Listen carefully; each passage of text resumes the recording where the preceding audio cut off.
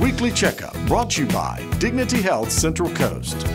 A salivary gland stone is a calcified structure that forms inside a salivary gland or duct and can block the flow of saliva, causing pain and swelling. Fortunately, Dr. Jaesung Lee at St. John's Pleasant Valley Hospital says he performs a cutting edge procedure to remove the stone called a sialendoscopy. This procedure is a gland preserving procedure, which is an outpatient procedure. It is minimally invasive, requiring only a very small intraoral incision or no incisions using a semi-rigid miniaturized endoscope. This miniaturized scope is inserted through the duct and this miniaturized scope has three channels. One channel to see, one channel to irrigate, and the third channel to pass small, tiny, miniaturized instruments such as a wire basket, a drill, or even a laser fiber to break up the stones. Once the stone is